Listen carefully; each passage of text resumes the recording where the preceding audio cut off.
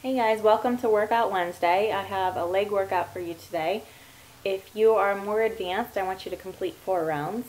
If you are a beginner, you can complete one or two rounds of the following workout. Um, do as much as you can and um, just make sure you concentrate on your form. Um, any questions, leave a comment below. Let me know how you did. Um, enjoy your workout. I'll see you next week.